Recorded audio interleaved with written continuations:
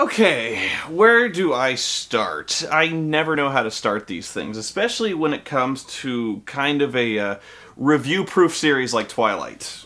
By the way, it always kills me when uh, uh, over the over the title of every single one of these movies now it's called the Twilight Saga. I don't know. I don't know. There's something about the word saga. The the Twilight Saga. This is not just a mere story. It's a saga. Mm, I don't know. It bothers me.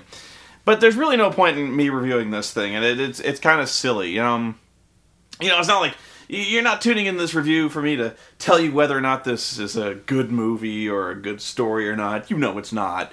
It's pretty much universally accepted that Twilight is probably the worst, seriously, like the worst cultural phenomenon to occur this decade. It's going to be like, um, I'll get back to this, but you know, it, we're going to look back on this and realize that it was really fucking silly.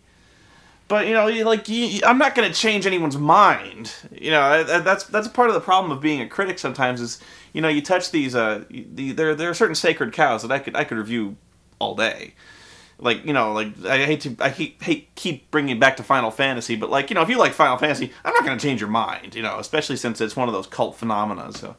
Twilight. I'm not expecting any of the Twihards to look at this and go like, Jesus Christ, this is really fucking stupid when I'm watching. Um, I, I, although I do think it's funny how um, my brother and I were talking about this a while back, and uh, we we were discussing like, is this just? Am I like holding this up to a double standard? Like, um, you know, if I was making fun of Twilight and somebody uh, turned it around on me and was like, oh yeah, well you like this, which is equally as stupid. You know, like some kind of reverse. Uh, some some kind of guy phenomenon where like we're we're dealing with a sociopathic guy who's manipulating and, and basically tormenting two hapless women. You know, uh, there's there's really not a series like that. You know, um, the only thing I could think of was maybe I could be bashing on wrestling and, and you know a Twilight fan and be like, oh yeah, well you like wrestling, that's fucking stupid. And I was like, you know, well, well, well, well, you might have something there. And at the same time, I said, well, no, because I have always fully admitted that wrestling is completely stupid. And I watch it because it's really bad and at the same time really funny. So, I guess where I'll start with this one is um, the reason you watch this one is to watch my reaction to it, I think. And um, I, you know, you want me to tell you whether or not it's really funny. And from a technical standpoint and from a storytelling standpoint, this is the best of the Twilight saga so far. But from like a RiffTrax perspective, from a you know you watch it because it's so bad it's good. This is probably the worst. Um, the original Twilight and New Moon are hilarious movies. Like I'm telling you, like seriously, New Moon was one of the best theater experiences I've ever been to because it was funny. It was like the, it, I you couldn't have made an intentionally funnier movie. Like you this you could actually argue like you know how Tommy Wiseau made The Room and he came back later and said, "Oh, this was totally a black comedy. I made this as a comedy." Like if if the director, I think it was Weitz, if, if he had Weitz had come back and said, "Oh, this was a co- you didn't know this was a comedy?" um, man, like New Moon would have blown your mind because it was like seriously, New Moon is a work of genius. If this if this had been a seriously satirical work, you'd have been like, "This is the greatest movie ever made." But uh, Eclipse by the way, there's no eclipses in this film. I'm always rather annoyed by that. Uh, same same with the new moon. There's no new moons in this in that movie. It's really boring. And the trailer would have you believe that this is like the action-packed climax of the Twilight saga. You know, like all shit's gonna break loose. So we get, you know, they've been building up this feud between the red-headed vampire and the Cullens and stuff like that. How she's raising an army and finally that army hits and there's going to be this big war. It doesn't happen.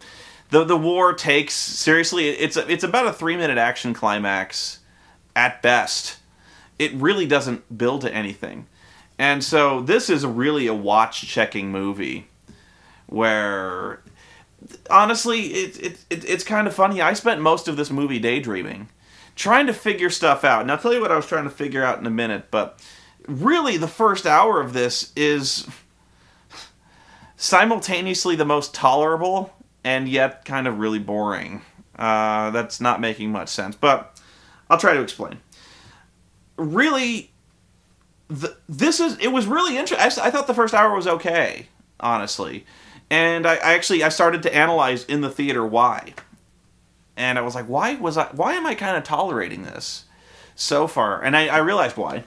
It's because this movie probably more than any other film and the first hour more than any other part of that movie we don't spend nearly as much time with edward and bella who are by far the most loathsome and repetitive droning creatures in literary history.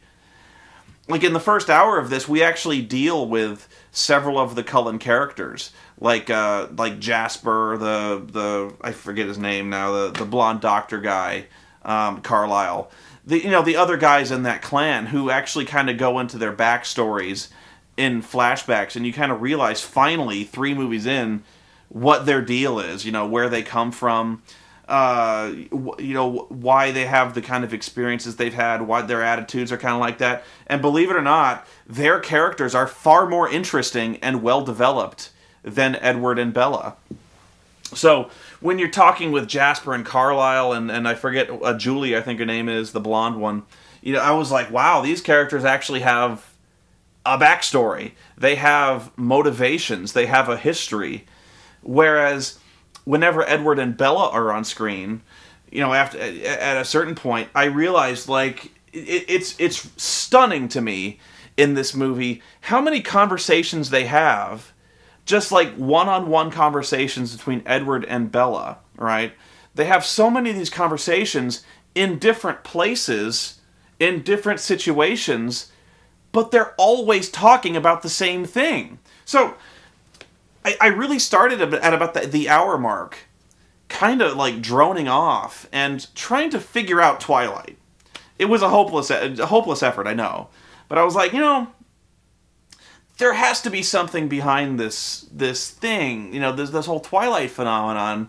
You know, I really want to understand it because I believe it or not, I don't go into these films wanting to hate them. Like, uh, like Final Fantasy 13, I know it's hard to believe, but you probably thought I just went in there like like gung ho wanting to hate that fucking game, and I didn't. I was actually trying to fool myself into liking it for a long time, so I wasn't trying to. I really didn't hold any hopes I was going to like Twilight, but you know I wasn't going in there being like I'm going to rip this movie a new asshole. If it was good, I would tell you, and so I I told you like this movie actually started off pretty promisingly. You know, it told it, it we actually followed the. Uh, Riley, the the newborn vampire, as as he was kind of dealing with the hunger and the thirst and and trying to raise this coven and trying to keep him under control. Believe it or not, that was actually far more interesting than anything we had seen up to this point.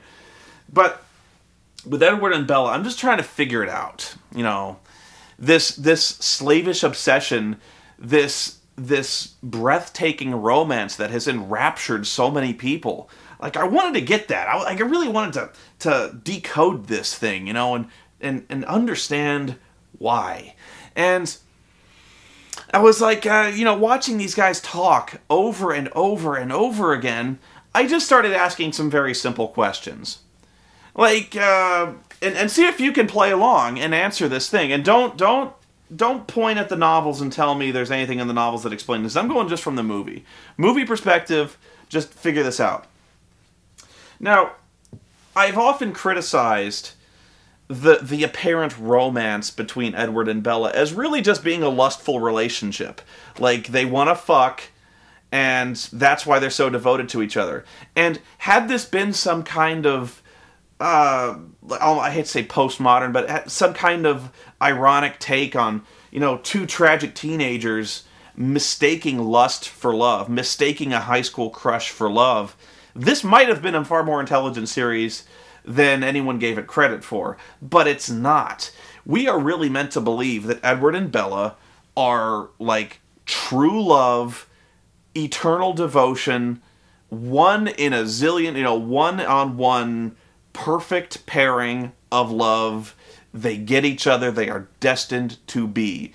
She is willing to sacrifice everything. She is willing to throw her life, throw any any semblance of a normal life, kids, family, integration into normal society. She's willing to devote herself to the kingdom of darkness, forever enslaved to the thirst for blood.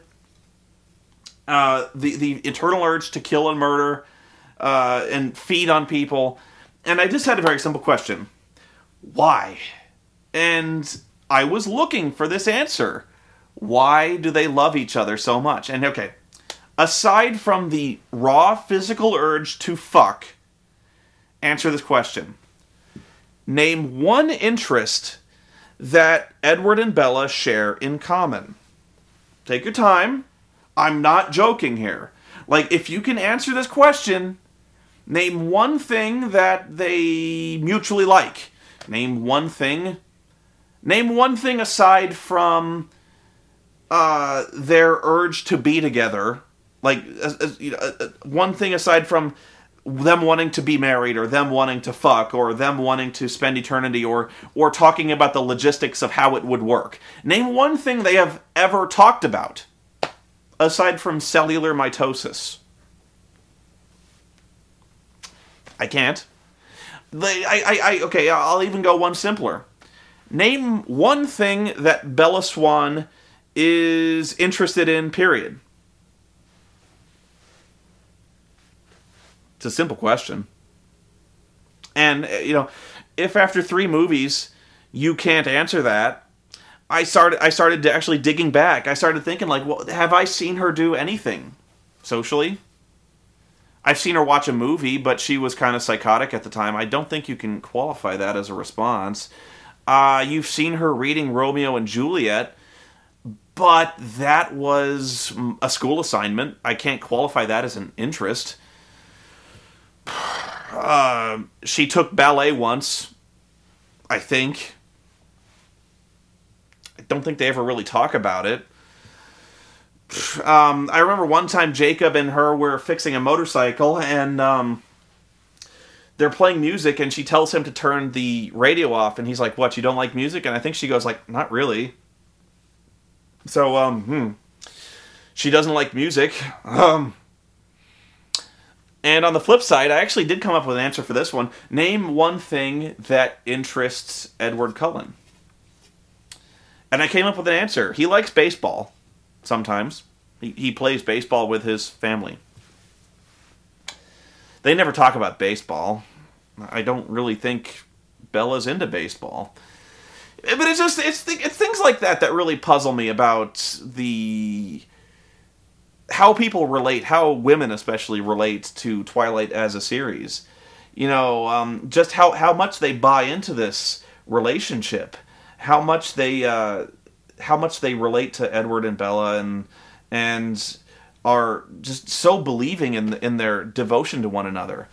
Um, and so they have so many conversations, and it stuns me how thick these books are, how long these books go on, how long these movies are, how many conversations Edward and Bella have, but it's all about the same thing.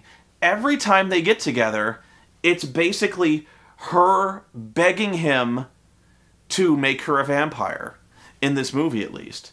You know she she wants she's she's like make me a vampire. He goes no i can't. It's dangerous. I i i, I don't want you to become like me. I fear for your soul. It's dangerous. You'll kill people. I don't want that on my conscience. You're too precious to me bella. I don't want that to happen and she like she keeps begging him please make me a vampire. I want to be like you. I don't want to grow old. I don't want you to i want you to want me forever. I want you to find me attractive forever because you know once again we're going back to the shallow physical attraction is the only thing that interests bella swan. But it's it's it's remarkable. Like every conversation is like that. And so every conversation they either they are trying to like compromise and make a deal about you know how and when she'll become a vampire, how and when they'll get married, whether or not he'll make her a vampire before or after, uh, when they'll actually fuck.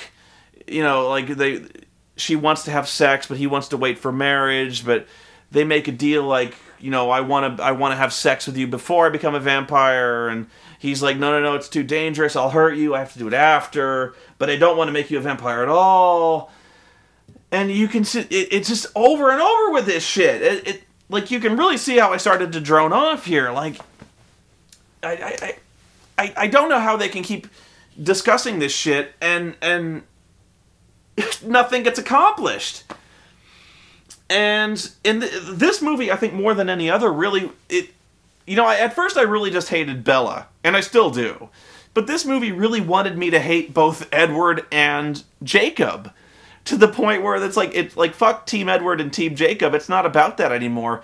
All of these characters are horrible people.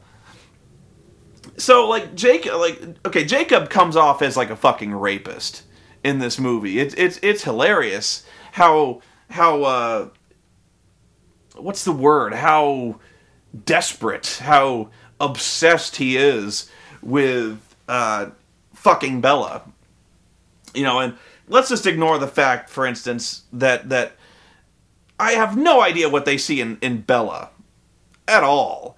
She's this drowsy eyed blank slate of a mumbling woman who, let's face facts, is not all that attractive. Like she is like she's attractive, but she's she's not like Helena fucking Troy. You know, she's she's not she's not this woman who you would you would go to war for, you know, like like just like and once again I'm going based purely on physical looks here, which again is the only thing I'm left falling back on because there's no substantive connection between the, any of them on a mental, philosophical, theological level. They make no kind of mental connection, so I, I have to resort to the physical. You know, like you know, I, I just don't get Bella here. But Jacob, he comes across like a rapist. Like I, I can't even tell you how many lines I was looking over at, at Scarlett going like, that's the exact thing a rapist would say. Like you uh you love me, you just won't admit it yet. Or in time you'll gr- in time you'll grow to love me. I'll make you love me. Or um, better you be dead than be with him. Uh, uh, better you be dead than be one of them. Warning signs creepy little bit. So the fact that he's so obsessed with with fucking Bella. And let's face it, you know, Anna Kendrick is right across the table. Anna Kendrick, who is fucking slumming being in these Twilight movies. Did you see her in Up in the Air? She's amazing. And the fact that she's actually so able to pull off the stupid Valley Girl routine in this movie, Anna Kendrick is an amazing actress gorgeous to boot. And I was like, she is by far more beautiful than fucking Kristen Stewart with her sunken, shadowed eyes and her her like chipmunky teeth and her fucking mumbling all the time. I don't know. Even like the, the, the cute little Asian girl, I thought was better looking than fucking Bella Swan. But okay, but like Jacob, fucking slavish to this woman, and I just don't get it. Like to the point he's obsessive. He's wanting to kill people, and Jake and I'm sorry, Edward. Edward now has become this like controlling son of a bitch who's like uh he's always staring at her and like being all controlling, wanting to know where she's going and why and who she's seeing and threatening to kill this dude for paying too much attention to her. And and I I, I at first I kind of thought maybe that's why people related to Edward so much that maybe all they want is a man who is willing to go to the wall for them and, and willing to kill and sacrifice and do all these things for them and I guess if that's what but like that's not really a unique trait to the Twilight series and I think that's what kills me of the Twilight series is you know we're looking into here's here's what it is we're dealing with a bodice ripper harlequin romance story about a woman who's torn between two shadowy, mysterious, angsty dudes. But that's not a new phenomenon. You know, that's like from the beginning of from epic storytelling from the beginning there's entire sections do- uh, devoted to that kind of literature it's called harlequin romance it's called the romance section in general um, you know you can find all sorts of trash romance that is actually far better written than twilight that deals with almost the exact same topic. It, it's it's better done that way, where we, you know we have these two two beefy, bulging, mysterious, angsty heroes fighting over a woman. That's not new. That's soap opera. You know that's so. I think that's why it it, it mystifies me so much is that we we you know this is this is well tread over ground, but why this? You know why the fucking Cullens?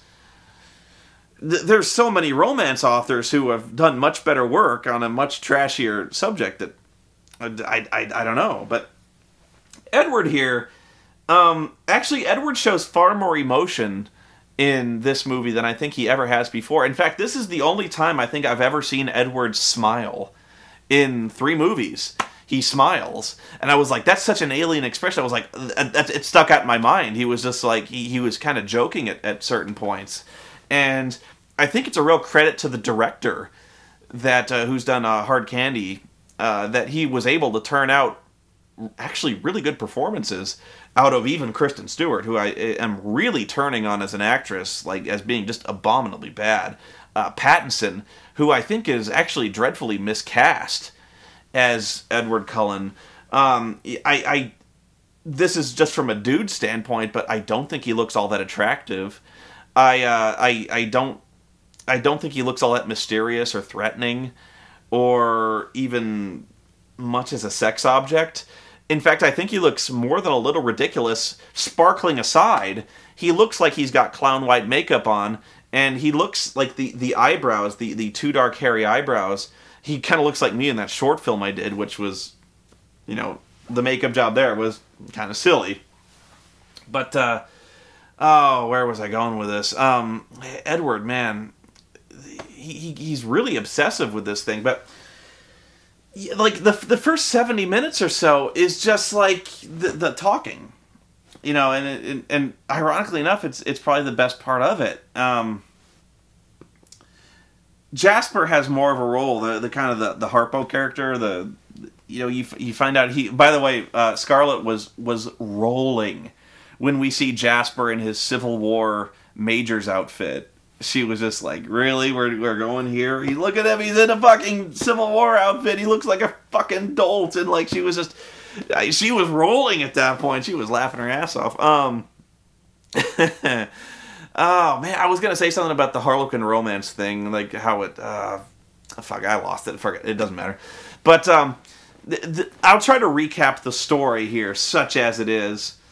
Nothing really happens in this movie. This movie ends and they're like exactly where they were when when New Moon ended. You know, like he proposes marriage, and that's kind of where we're at at the end of this movie. Like they're like, we're gonna get married. Credits, and so okay. Here's what happens. The redheaded vampire Victoria wants revenge on Edward for killing her ponytailed fruity boyfriend at the end of Twilight. So, um, she starts raising a vampire army in Seattle, none too subtly, I might add. Because, as we all know, newborn vampires are never more physically potent or dangerous than when they are first made. Which I always, which kind of runs contrary to common vampire lore where you would think that as vampires get older, they would grow more powerful, you know, honing their gifts, honing their talents, becoming more physically powerful, subsisting on the blood of mortals. Like every vampire book I've ever seen is like older vampires would logically be more powerful. I, I guess they're just trying to put over the fact that new vampires have less of a grip on their rage and their hunger, so they're frenzied. They're they're kind of in a frenzy. So okay, and I'm down with that. But these vampires are literally tearing apart Seattle to the point where you can see it's national news. And there's like riots are breaking out, mysterious gang violence is tearing apart Seattle. And actually, again, I was actually kind of interested in that because for once, things are happening. For once, we're not talking about Edward and Bella's really go nowhere romance. You know, we've actually got political intrigue. We've got violence, the threat of something bigger occurring because the characters are talking about, wow, those vampires are not being very subtle. They're tearing apart Seattle. They're killing people en masse. You know, like the murders here are skyrocketing. Why don't the Volturi do something about this? And sure enough, the Volturi are kind of observing this, and I'm like, this is kind of interesting. Like, maybe something might be happening with the Volturi. Something might be happening with the vampire community at large. That interested me. Silly though it is, as complete fucking nonsense the vampire lore is, it was more interesting than the romance. Maybe that's just the dude in me talking, but the romance does nothing for me. So the Volturi come down and they observe this thing and they're like, should we do something about this? And of course they go, yeah. Why do something? Why start now? Why start doing anything in this fucking series? Dakota Fanning, who is, I think, Jane, the blonde vampire who can cause pain with a thought. Again, miscast, wasted. Her character does nothing in this film except have really ridiculous contact lenses in.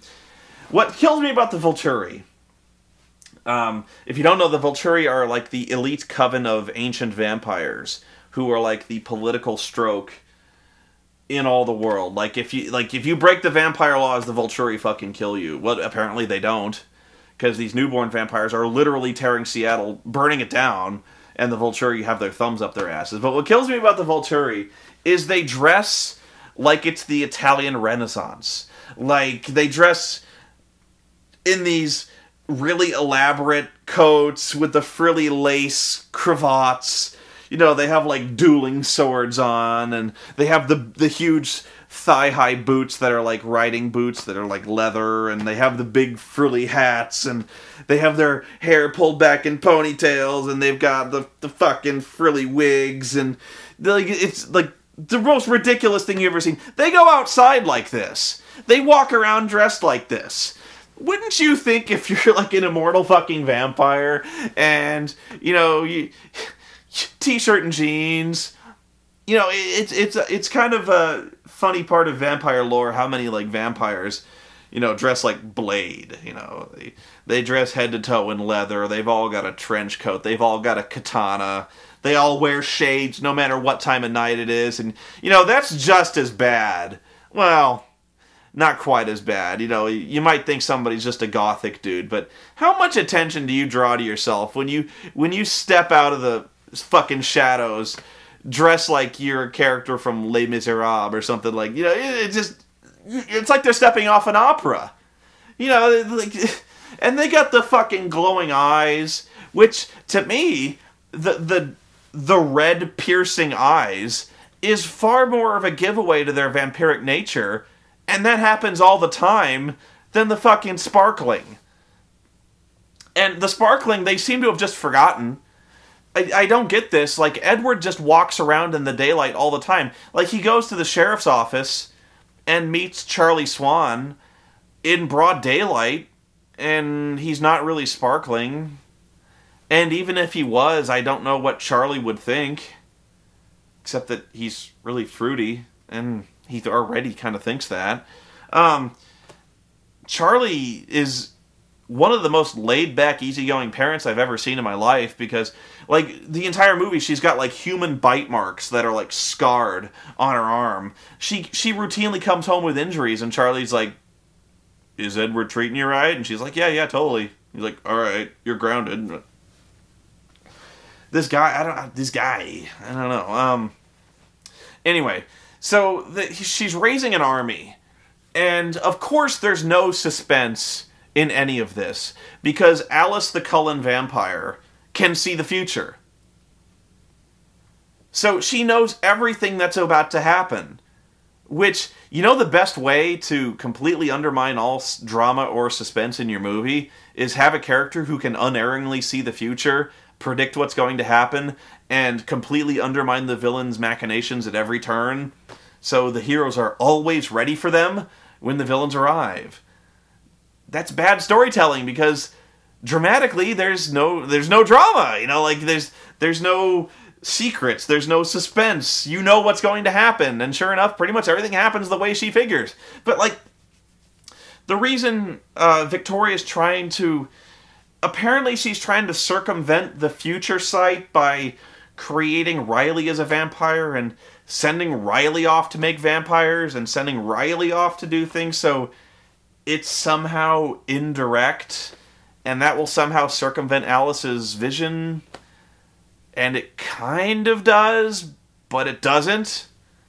Because she sees it happening anyway, and they're, sure enough, they're pretty much ready for him.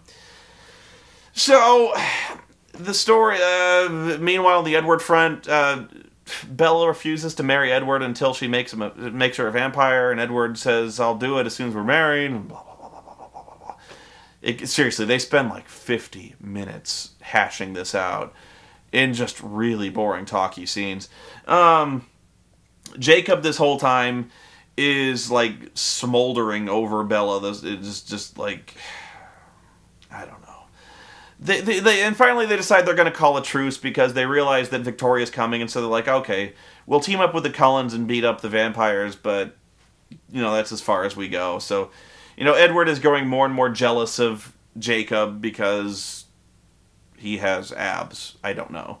Uh, so okay, Jasper's like, I know how to deal with vampires because when the Civil War, I fought vampires all the time. Just roll with it. Okay, Jasper knows how to deal with this shit. So like Jasper, he's like, I'm gonna, I want all the Cullens in this field, and I'm gonna get all the werewolves, and I'm gonna teach you how to fight newborn vampires.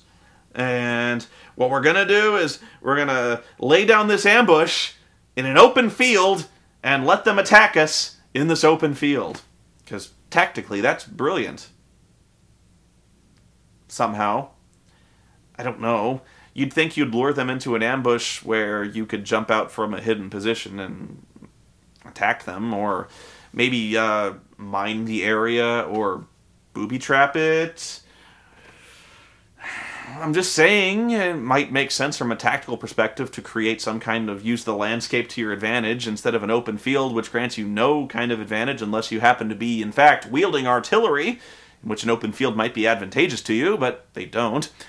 Um, you know, you think you think the cover of trees might actually be advantageous or the use of weapons, but no.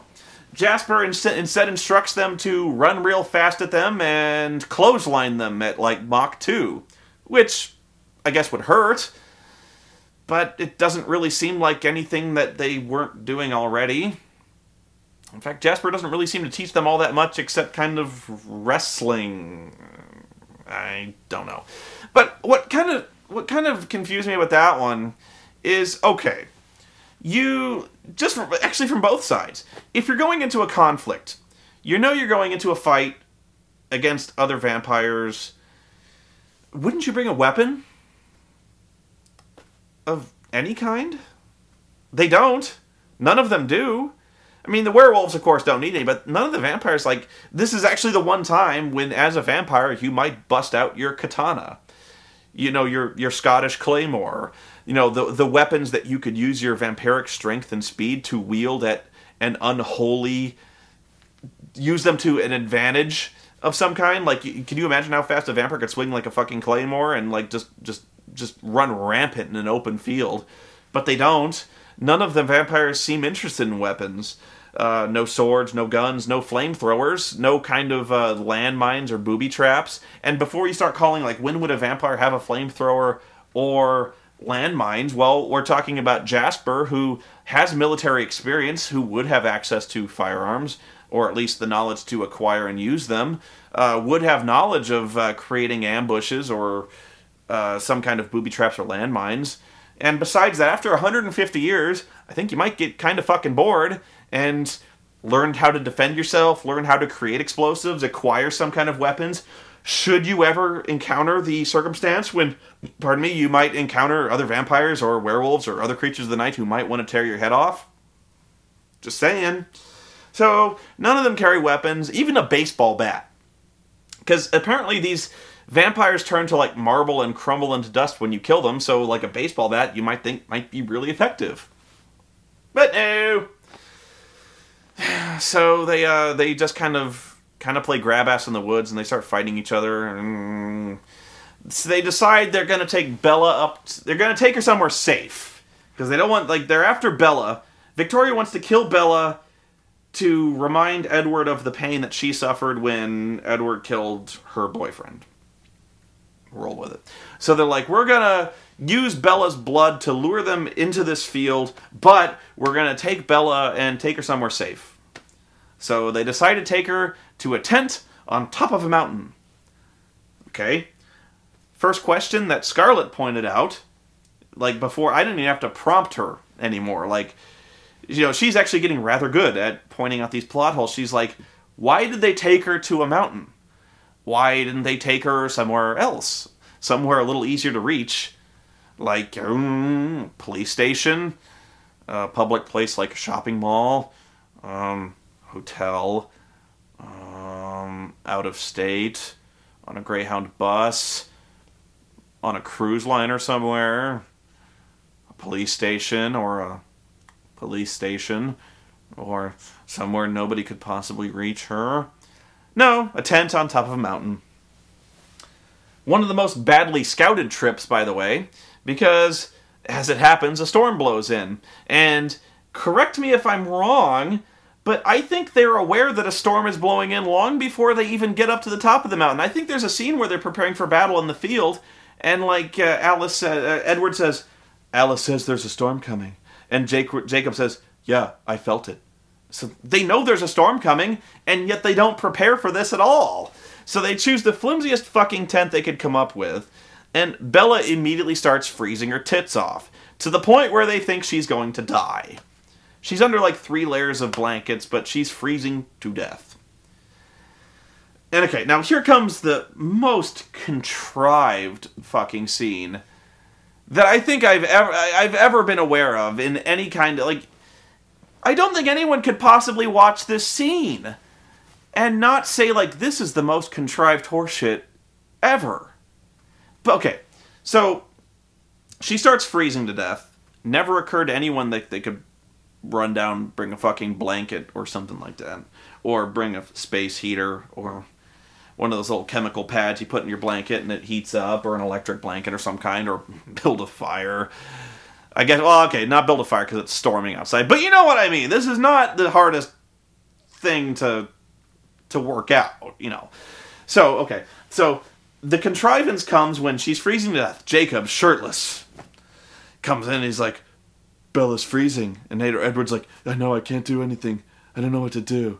And Edward, uh, Jacob's like, "I will lay on her."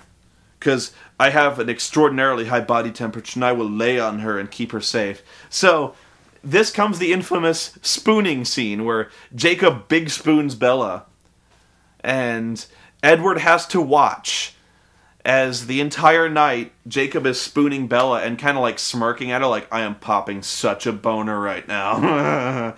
like, I am boning your girlfriend right in the back. Like, you see that? You feel that? Yeah. Like that, Edward? You don't want her to freeze to death, Edward.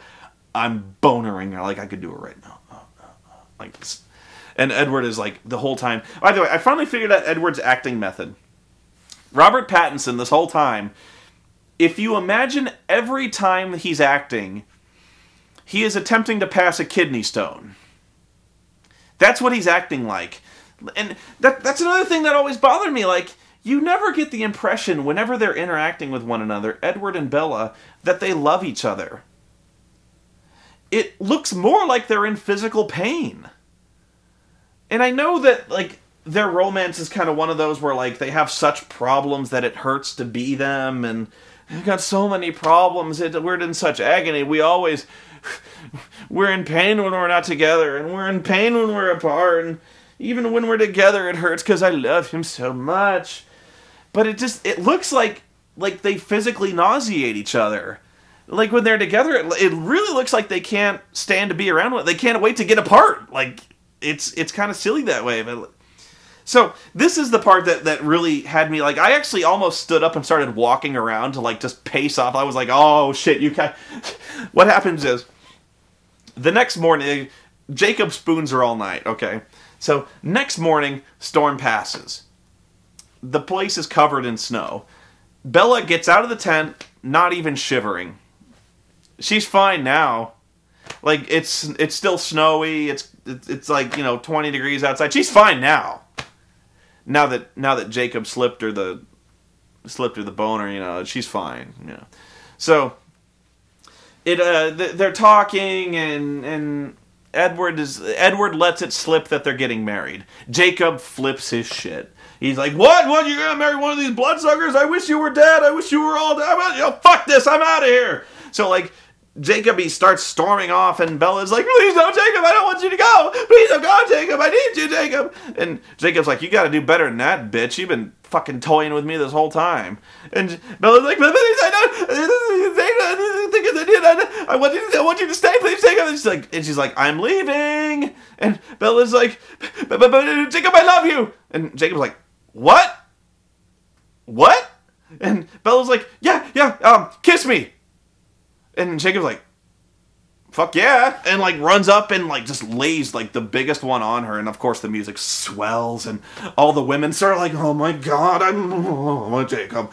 And and so of course he's got his shirt off the whole time. Oh my god. Like all the women are doing like the dj diddle sitting down there like oh my god. Um so like music swells up. And he's doing i'm like uh, like when Bella says "kiss me," and I'm like, I, I, I, I just, I was like, oh Jesus, fuck it, you, you cannot be serious, really? Bella is like, I, I, I, I, I yelled out, and you can ask her. I yelled in the theater, like, she is fucking with them at this point. She is just fucking with them. There's no other way to interpret this thing. Like, she is literally fucking with them at like just, just, just fucking with them. I couldn't fucking believe it. Like this whole time, she's like, she's like, I love Edward. It's always been Edward. I always love. I was always. I'm destined to be with Edward. I love him and his pale face and his his big bushy caterpillar eyebrows. And I want to be with him always because we have so much to talk about. And then she's like, "Kiss me, Jacob, now. Kiss me hard." And I'm like, this manipulative bitch. Like, it's gone beyond sociopathic behavior. Okay, at first I was like, like I was like, she's sociopathic. She has no understanding, no conception. She's not even aware that other people have feelings. No, no, no, no. She's aware of them. She has contempt for them. She, I think she in fact revels in their misery, revels in just toying with their emotions and hearts and like like just cackling as she crushes their wills, crushes their aspirations, and just like takes like takes their hearts out and just like stomps on them. Like this bitch is toying with these dudes, and they are like so eager to be toyed with. I, I, I couldn't believe it. I was just like, not only did we have the contrived spooning scene, but she's just like like just twenty feet away. There's Edward her fiance at this point, and she's making out with another dude. Because she's like, I love you too. I just love Edward more. I'm like, oh, you fucking whore. like,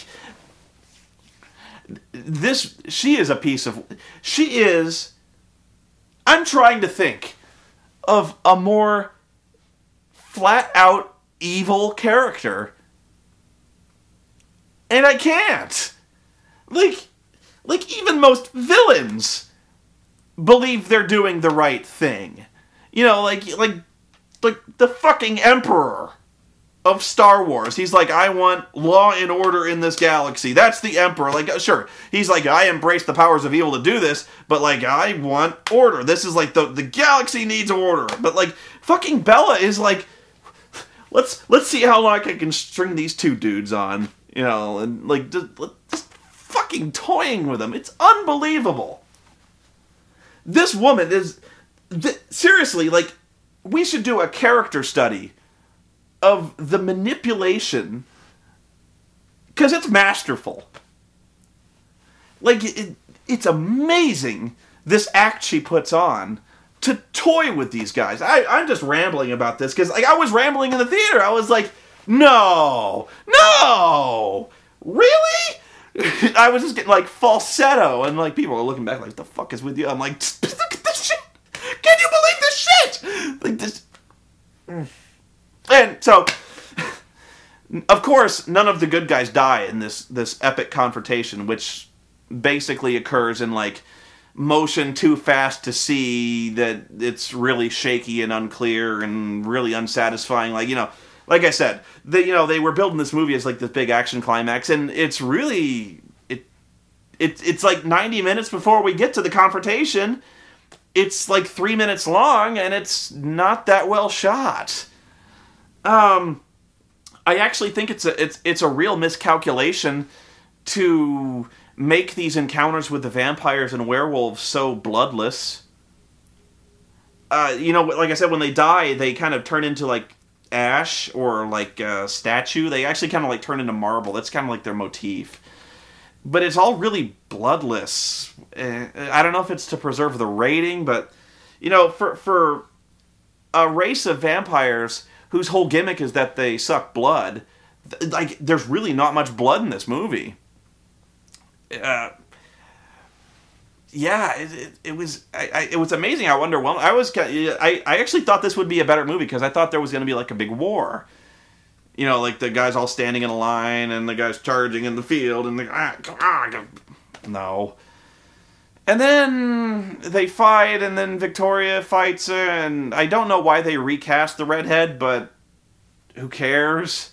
Um, so really, the only thing that got accomplished is the redhead is out of their lives uh, the Volturi do nothing to the point where I don't know why they were even involved. I think there's some kind of political thing going on where like the Volturi want to want the Cullens to die, so they were like, "Well, we'll let the newborns attack the Cullens, and if the Cullens die, cool." I don't know. It doesn't really make any sense this shit confuses me. And, you know, I've actually been told, I've actually been warned by quite a few people. I was like, uh, I, I, was talking to some of my friends on Skype, and they're like, um, "What are you, are you gonna go see a movie this week?" And I'm like, "Yeah, yeah, we're gonna go see Eclipse." And they're like, Whew. and they're like, "Are you gonna see the last Airbender?" And I was like, "Yeah, probably. I I probably should because I've heard it's really bad." And they're like, "Don't, don't." Don't. I'm like, really? Why? And they're like, it's bad. It's so bad. Like, people were like, you know, like when I was all shell shocked after Indiana Jones and stuff like that, I saw people shell shocked after Last Airbender.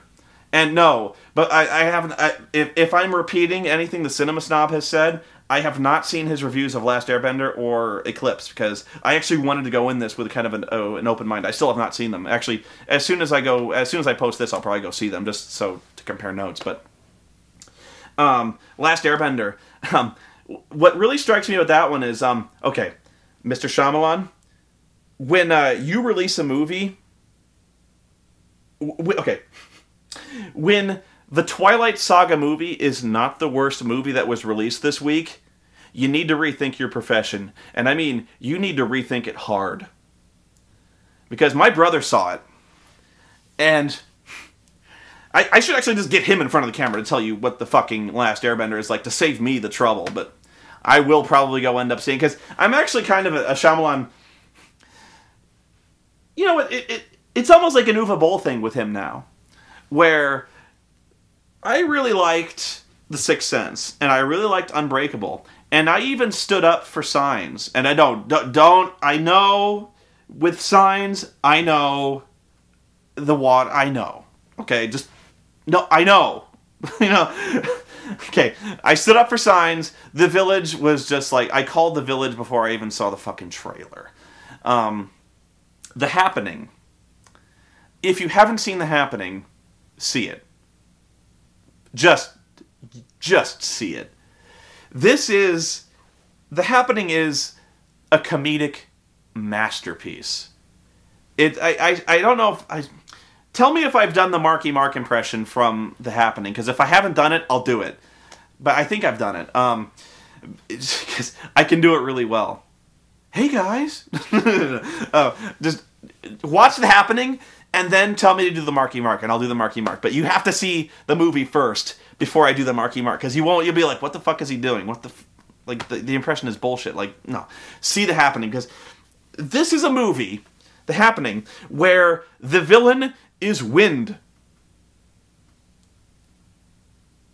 Yeah, wind. The, it's like the cheapest like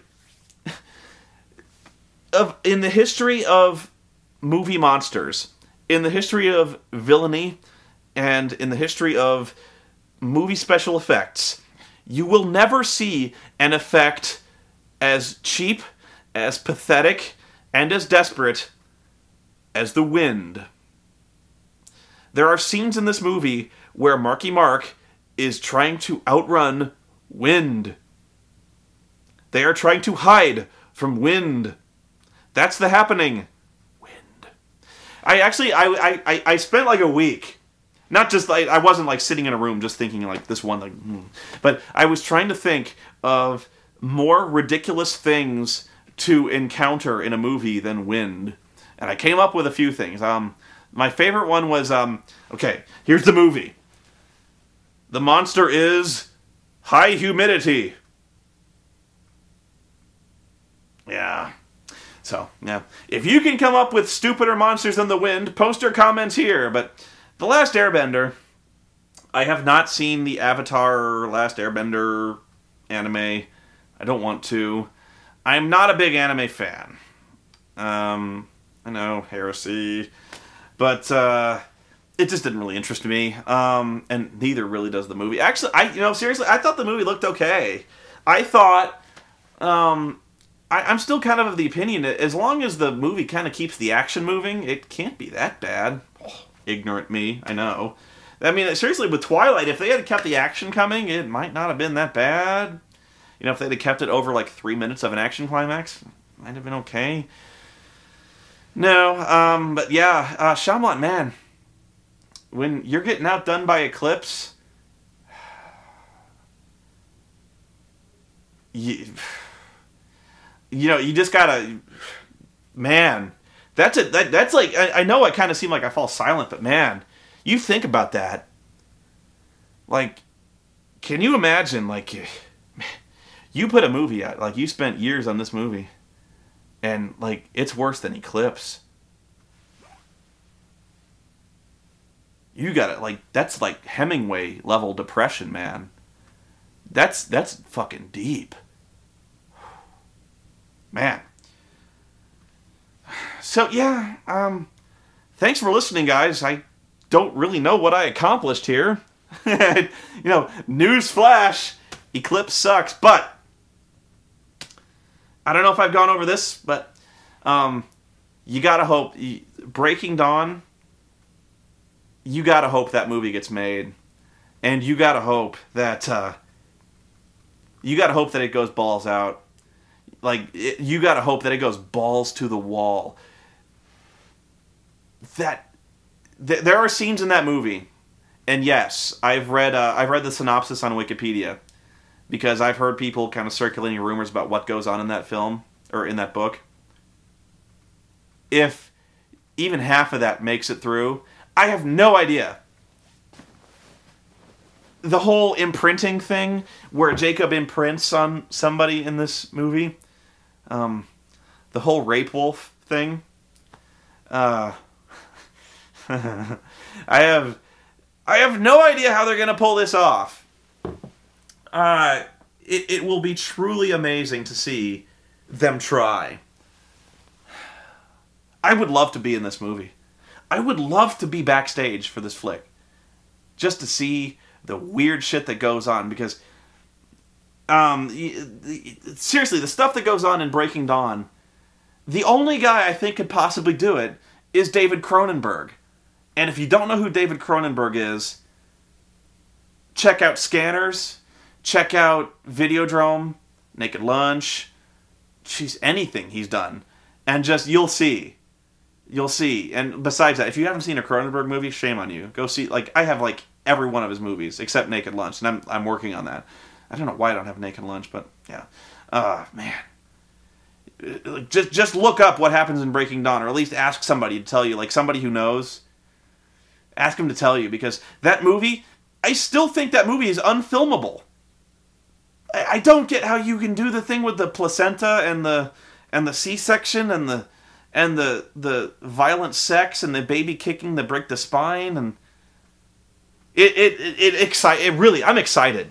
Like I of any movie that I'll be there opening day, Breaking Dawn. You b- believe that because I have to see how they pull this shit off. Like you, like everything in Eclipse has been leading to this. because you know I, I I think with Breaking Dawn, the next great cultural fall of the Western civilization will finally be complete. And you know I was talking with my brother like the Twilight thing. How long do you think it's going to be? Like 15 years, 10? When we look back on the Twilight saga and go, Jesus Christ. What what the fuck are we doing? Like like I was trying to think of cultural fads that were similar to that, like uh disco. And I was like, nah, disco well, we kind of make fun of disco, but disco had some merit. No, no, no, no, no, no. I was like Vanilla Ice or uh, uh, New Kids on the Block. You know, these things that are like even today like punchlines of things that we really thought were just cool as hell, cool as ice. That that are just we just look back and we just shake our heads and go like, "Oh my god. We had posters of that guy. Like we bought books. We bought tickets to that." And what I, I even think it's even a little more unique than even like vanilla the vanilla ice the phenomenon because I don't remember even during the time of Vanilla Ice, people were like, people were so set against Vanilla Ice where people were people were saying like Vanilla Ice is horseshit. Like 15 years from now, we'll say Vanilla Ice was complete crap. No, no, no. Vanilla Ice was big. New Kids on the Block were big. I don't remember anyone saying anything bad about those guys. Like Twilight, right now, it's like there's this minority who is just just rabid about Twilight, and yet there's another. There's no middle ground with Twilight. There's not people who are like, yeah, Twilight, it's okay. No, no, no, no. It's either like you either worship it or you know, like you know, like bone deep that Twilight is the worst, the the worst abomination to strike Western culture in the in the aughts. You know, in the the year two thousand to two thousand ten. Like it's it's it's it's just horrendous. It, it's inexplicable, and that's that was my big journey here. Like I spent so much of Eclipse going on this journey, like this this this introspective journey, just trying to figure it out. Just trying to find one thing that I could relate to, one thing that I could understand about this romance, about this story. And you know what? I failed. I couldn't do it. I don't know. It's inexplicable, guys, and it, it's it's to the point where it's it's actually kind of interesting, and there there might be a movie in this, you know, where like I I'm thinking like some kind of I, I almost think like documentary, like where I I have to get like a round table or something like that, but it'd be so hard to do because Twilight fans are not going to line themselves up for ridicule. Who would? You know, I'm not going to be like, okay, here's six Twilight fans going to argue with six haters of Twilight because they're like, the, I think even the six Twilight fans will be like, it's inexplicable there's got to be some way to explore this fan phenomenon and try to deconstruct it. Like I gotta get, I gotta get like, like doctorates or or literary experts. You know, people who analyze Shakespeare, literary majors, people who write novels, and just interview them and ask them to explain this to me. Like Bill Moyers or Joseph Campbell. You know, Hero with a Thousand Faces, uh, The fucking Power of Myth there's got to be something I can tie into with this. Like I gotta, I gotta know. Like Star Wars, Star Wars, and the Power of Myth, The Hero with a Thousand Faces. Like you, like anyone who's anyone who's ever taken a cinema class, you know, every asshole who's ever gone to college and taken one of these classes, like, is immediately force fed this whole Joseph Campbell thing in Star Wars, where it's like it harkens back to the ancient myths, but bullshit with Twilight, man. Bullshit. I call such bullshit. I, I but there has to be something like I don't know. I, I like it, it. It's maybe it's the obsession with finding the truth. I must know, but I need to find some kind of like. Uh, if you know of any experts that I could like sit down and interview and just like, just we could we could deconstruct the Twilight Saga and and even if it's like just getting some really smart British guy to tear this film fucking asshole. I, I, I gotta do it, but I don't know how long I've been talking. Probably about an hour and a half. Next one will be The Last Airbender because there will be a slow night. I should be working. Should be doing Mazes and Monsters, but no. The siren call of bad movies. it summons me. I'll talk to you later.